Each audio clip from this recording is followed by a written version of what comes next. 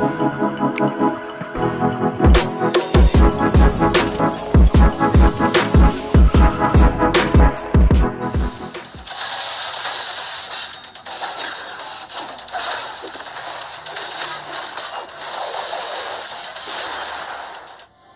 yo, what's up teman-teman? Balik lagi di game Dynasty Scrolls.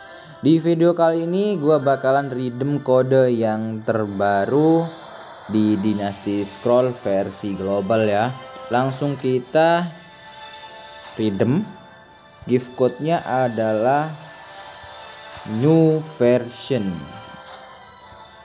New version. Nah, di dalam new version ini nanti bakalan ada update teman-teman. Ada update terbaru yaitu adanya PVP mode ya.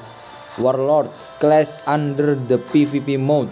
Nah, udah tertera di fanpage-nya Dynasty Scroll versi global. Jadi gak cuma PVP nanti ada apa lagi nih? The instance of story of time under the PVE mode. Jadi gak cuma PVP, nanti bakal ada PVE juga. Terus ada apa lagi untuk update yang new version nantinya? Ada the new awaken heroes. Jadi hero-nya itu nanti bisa diawaken teman-teman. Lanjut lagi untuk yang keempat, enemy at the gate is now available. The gate gate itu di mana?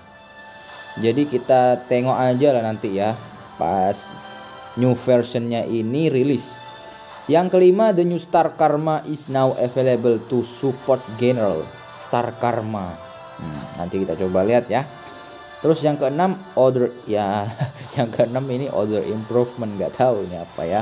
Oke jadi itu aja untuk video kali ini. Nantikan untuk new versionnya pas udah rilis ya. Kita bahas nantinya teman-teman.